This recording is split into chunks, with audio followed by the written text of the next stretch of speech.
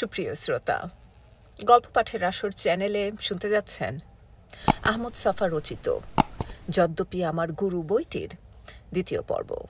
আমি ওয়ারা করিম, সাথে থাকুন।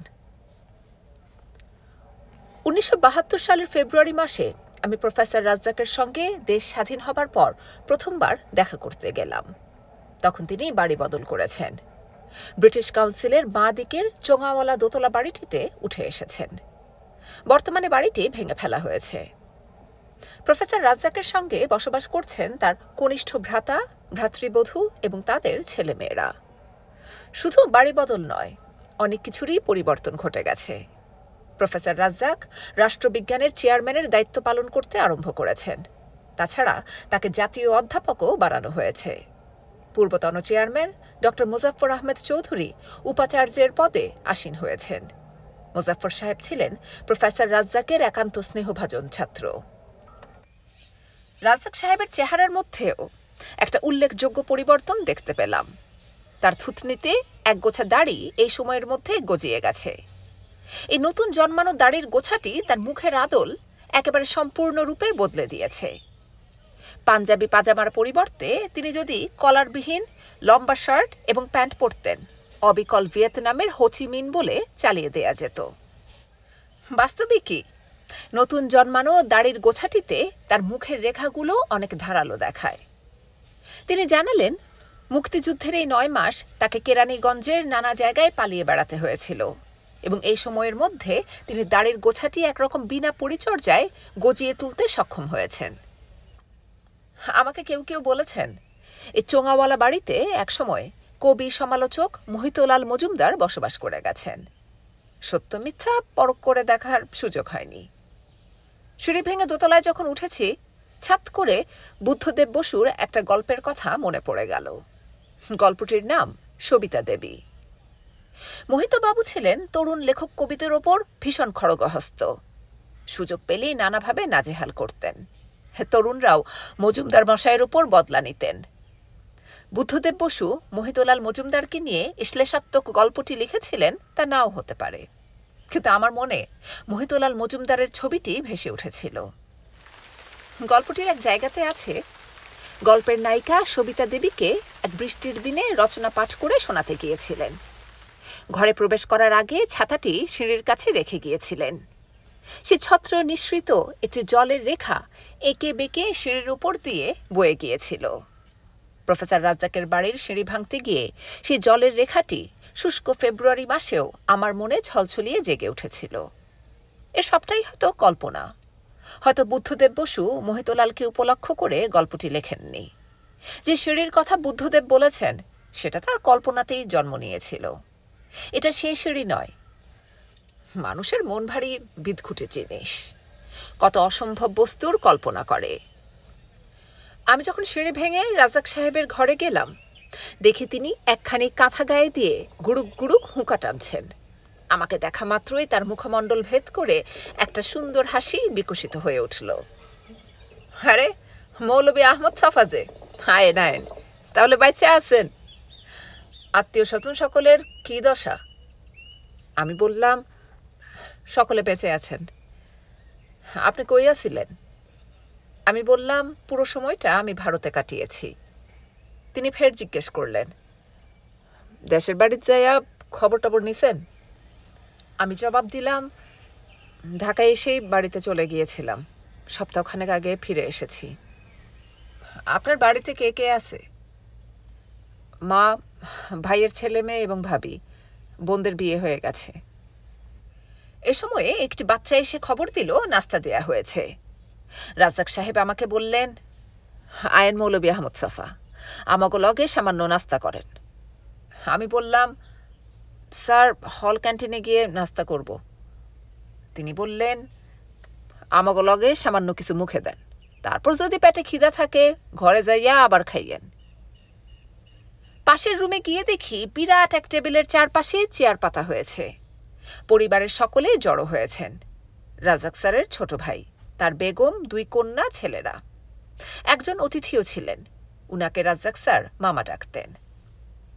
একটা বড় চীনামাটির প্লেটে চৌকোনো সাইজের পুরু পরোটার স্তূপ, ভুনা গরুর মাংস, চিতই পিঠার সঙ্গে গাঁথা ভাজা ইলিশের টুকরো, ফালি ফালি করে কাটা পনির, ডিম ভাজা ভাজা রূপচান্দা শুটকি, এক পাশে গরম করা গত রাতের বাসি ভাত।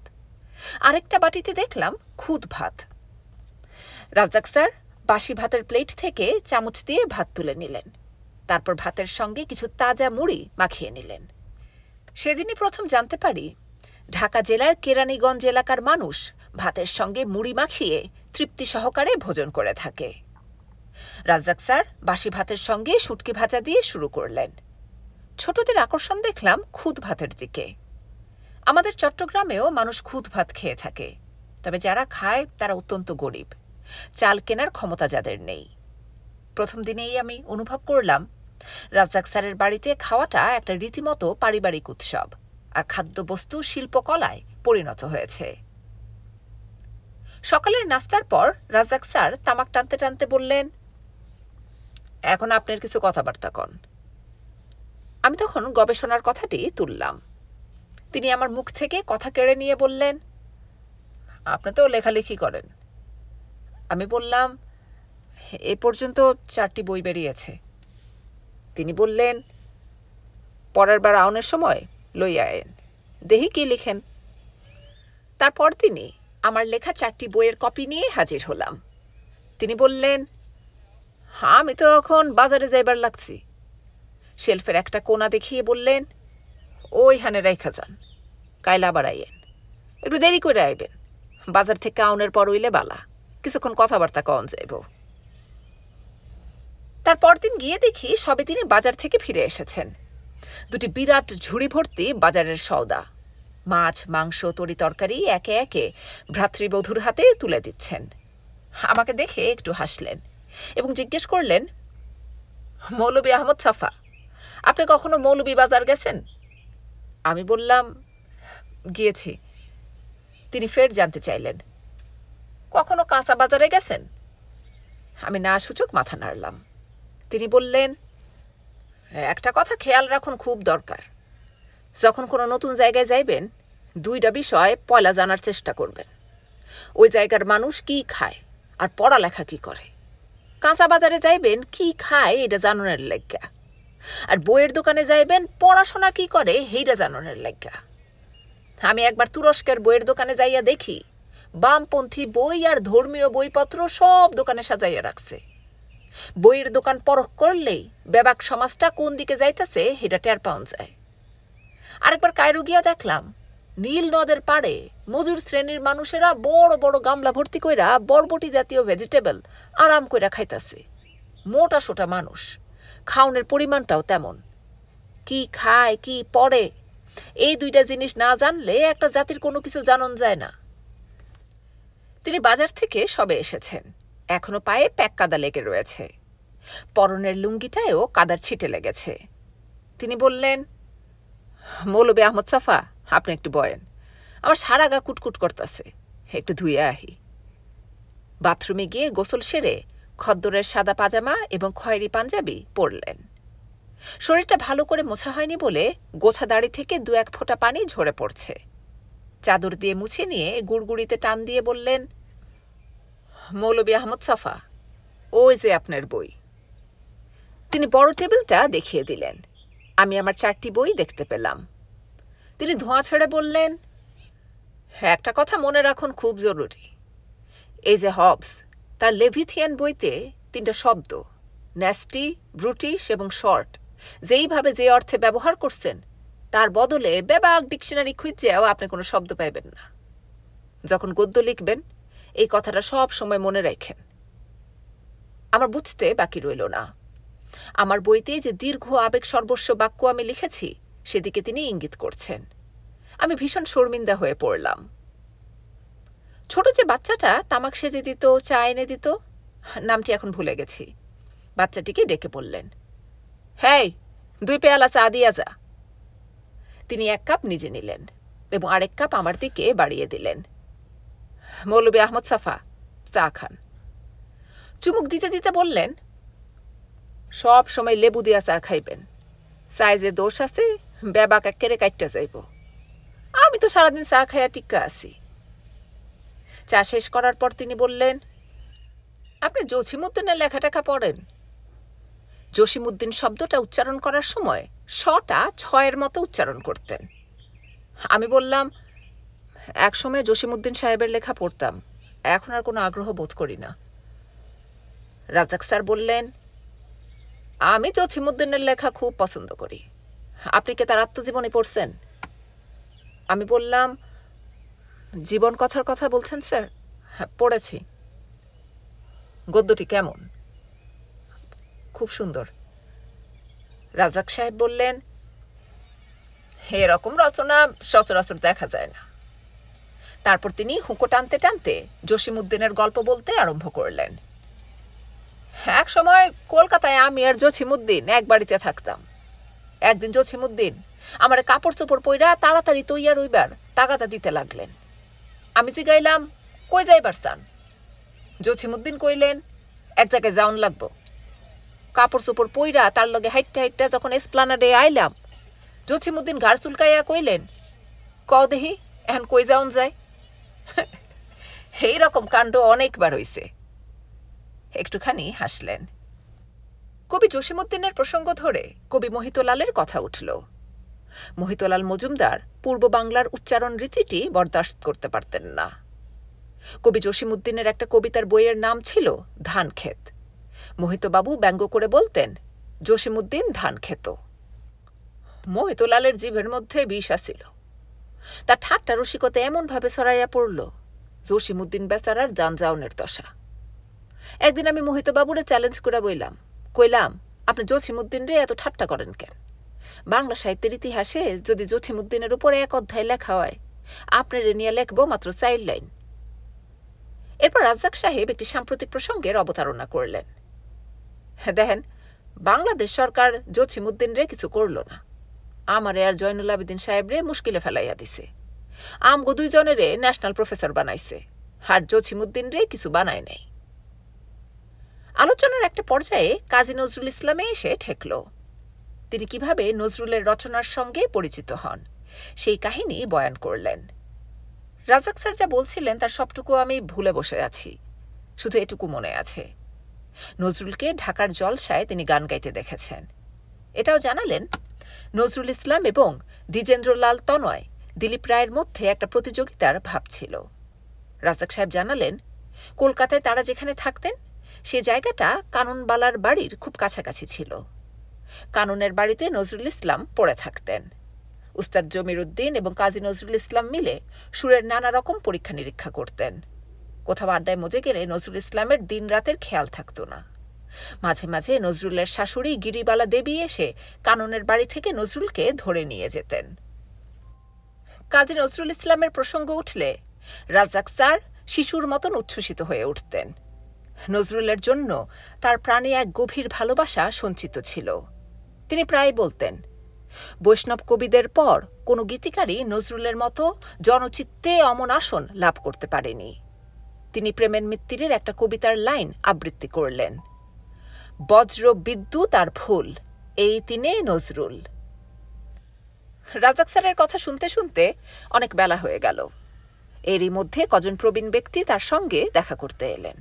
এদের কাউকে আমি চিনি না। এক ভদ্রলোকের সঙ্গে তিনি বিলেতের গল্প করতে আরম্ভ করলেন। বিলেতের কথা উঠতে খাওয়া দাওয়ার প্রসঙ্গ এলো। রাজাক স্যার বললেন ইহুদিদের মাংসের দোকানের বেশিরভাগ ক্রেতা মুসলমান। ইহুদিরাও মুসলমানদের মতন আড়াই পোঁচ দিয়ে পশু জবাই করে। তার নিজের অভিজ্ঞতা উল্লেখ করে বললেন, আমি জবাই করা গোষ্ঠের খোঁজ করবার লাগছিলাম। এক ইহুদি কষায়ের দোকানে যাইয়া হাজির হইলাম। আমার এক নজর দেখাই হ্যাক হইয়া বইল, আপনি কি খুঁজতেছেন আমি টের পাইছি। আয়েন, জবাই করা মাংস নিয়ে যান। তারপর থেকে হ্যার কাছ থেকে গোস্ত কিনা শুরু করলাম। এই প্রবীণ ভদ্রলোকেরা যখন বিদায় হলেন, বেলা প্রায় একটা বাজে। রাজাক স্যার আমার দিকে তাকিয়ে বললেন মৌলবী আহমদ সাফা, দুপুরের খাবারটাও খায়া যান। প্রায় দশ দিন পর আবার রাজাক স্যারের বাড়িতে গেলাম। একটু দেরি করেই গেলাম। যদি সকালে যাই, আমাকে নাস্তা খেতে ডাকবেন। আমি এড়াতে পারব না। উনার বাড়িতে রোজ রোজ খেয়ে যদি উপাদেয় খাবারে আমি অভ্যস্ত হয়ে যাই, ইন্টারন্যাশনাল হস্টেলে ফজলুর নাস্তা আমার জিভে রুচবে না। স্যারের বাড়িতে গিয়ে দেখি, আধ ছেঁড়া গেঞ্জিটার ওপর খদ্দরের চাদর চাপিয়ে দাবার বোর্ডের সামনে বসে আছেন। বিপরীতে নিয়াজ মানে নিয়াজ মোর্শেদ, একালের গ্র্যান্ড মাস্টার তখনও নিয়াজ একেবারে বাচ্চা, বোধহয় স্কুলও শেষ করেনি। নিয়াজকে একজন দক্ষ দাবারু হিসেবে গড়ে তুলতে রাজ্জাক স্যার অনেক কিছু করেছেন। পারিবারিক বিপর্যয় সামাল দেয়া পর্যন্ত। দেখলাম রাজ্জাক স্যার এবং নিয়াজ দাবা খেলার টেকনিক ফন্দি ফিকির নিয়ে গভীর আলোচনা করছেন। নানা রকম চাল বোর্ডে দিয়ে বইয়ের সঙ্গে মিলিয়ে নিচ্ছেন। আমাকে দেখে স্যার সে পুরনো হাসি হেসে বললেন, মৌলবী আহমদ সাফা, বয়েন। আমি বসেই রইলাম। তিনি নিয়াজের সঙ্গে দাবা নিয়ে মত্ত হয়ে রইলেন। ঘড়ির কাঁটা নটার ঘর থেকে দশটার ঘরে এসেছে। বসে বসে আমার পায়ে ঝিম ধরার উপক্রম। আমি উঠে গিয়ে শেলফে বই দেখতে থাকলাম। সমাজবিজ্ঞান, রাজনীতি, ইতিহাস, রাষ্ট্রতত্ত্ব ইত্যাকার নানা বিষয়ের গম্ভীর মলাটের বই। আমার মনে হলো, এগুলোতে দাঁত বসাবার ক্ষমতা আমার জন্মায়নি। খোঁজাখুঁজি করতে করতে শেলফের একটা তাকে ফরাসি সাহিত্যের কিছু বইয়ের সন্ধান পেয়ে গেলাম। বালজাকের রচনা বলি ফ্লবেয়ারের উপন্যাস, মোপাসার রচনা, ভিক্টর হুগোর বই। ফরাসি সাহিত্যের এতগুলো প্রধান লেখকের বই একসঙ্গে আমি আর কোথাও দেখিনি। আমার হৃদস্পন্দন বেড়ে গেল। ইচ্ছে হলো বালজাকের রচনার প্রথম খণ্ড এখনই ধার চেয়ে বসি। যদি ধার দিতে অস্বীকৃত হন, তাহলে লাইব্রেরিতে বসে পড়ার অনুমতি প্রার্থনা করি।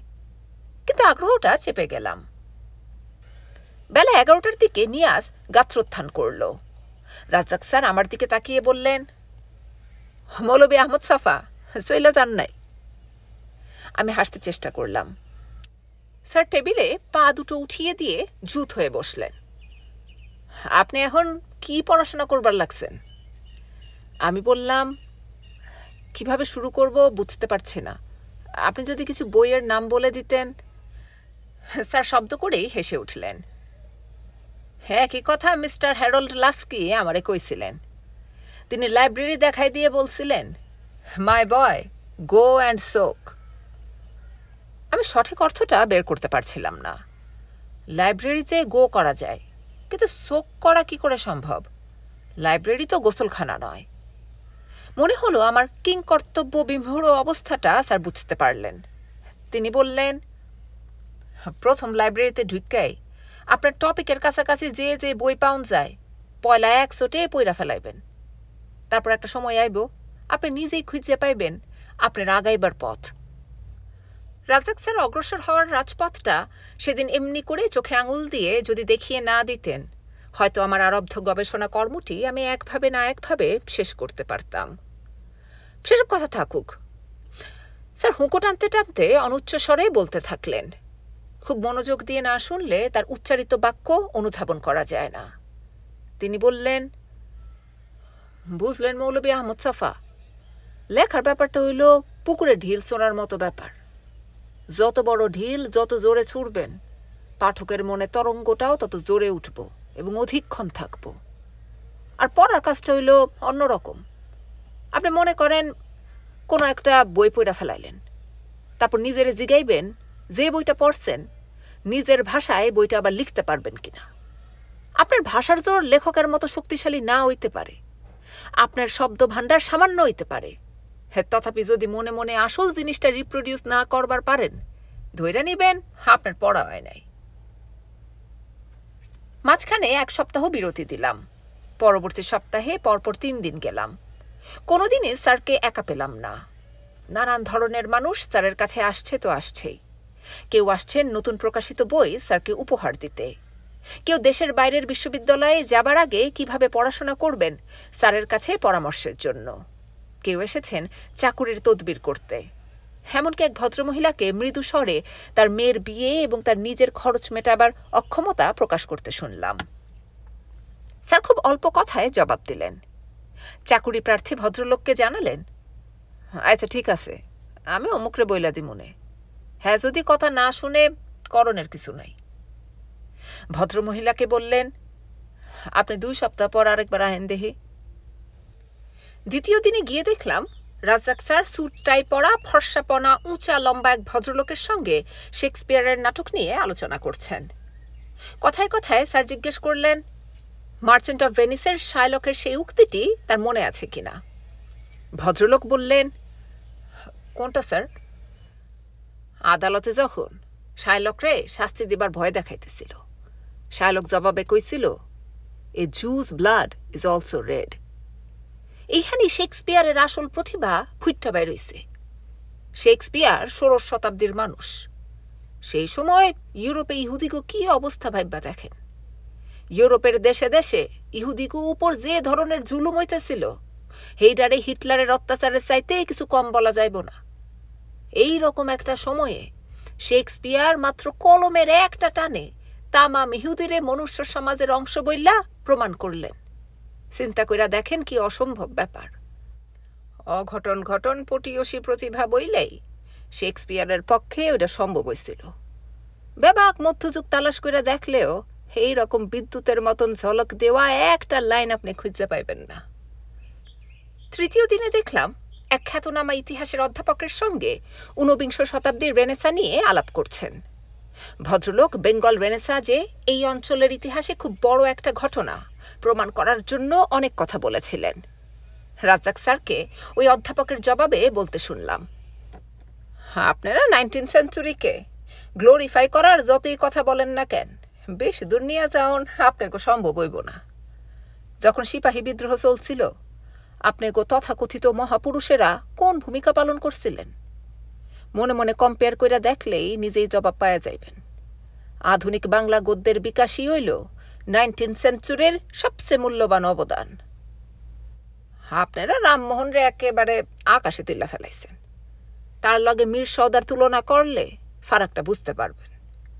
মীর এই উর্দু গদ্যের একজন জনক কন যায়। মীর আর রামমোহন দুজন কন্টেম্পোরারি একবার অযোধ্যার নবাব বাজার দেখতে গেছিলেন। বাজারের সমস্ত মানুষ নবাব সাপরে তাজিম দেখাইয়া বাঁচে না। সদা তখন এক দোকানে বইয়া হুকা খাইতে আসিল। তারে যখন জানানো হইল, নবাব সাহেব আইসে আপনি তাজিম দেখাইতে আসেন। সদা জবাব দিছিল मैं भी উর্দু জুবান কা নবাব হ্যাঁ মগর কন পুছে? দুজনের পার্সোনালিটি কম্পেয়ার কইরা দেখেন। রামমোহন রে বিলাত পাঠানোর সময় রাজা টাইটেল দিলেন বাহাদুর শাহ। কিন্তু বাহাদুর শাহরই কোনো রাজত্ব আসিল না। রামমোহন হেই টাইটেল গোটা জীবন আগলাইয়া রাখলেন। ডিগবির দেওয়ান হিসাবে তো রামমোহন তার নতুন ক্যারিয়ার শুরু করলেন। ঘুষ খাওন থেকে শুরু কইরা তার গুণের অন্ত আসিল না। রামমোহনের যদি আসল কীর্তির কথা বলবার চান, অবশ্যই তার বাংলা গদ্য লেখার কথাটি স্বীকার করতে হইব। তার তো যোগ্যতা ছিল অঢেল। ইচ্ছা করলে আরবি, উর্দু, ফার্সি, সংস্কৃত, ইংরেজি সব ভাষাতেই লিখতে পারতেন। একেবারে ডাইনে বামে না তাকাইয়া he chose to write in Bengali. এইটাই তার বড় কাজ। গৌড়ীয় বাংলা ব্যাকরণই হইল তার বড় অবদান। আপনারা তার ধর্মপ্রচার এই সকল লইয়া বাড়াবাড়ি করেন।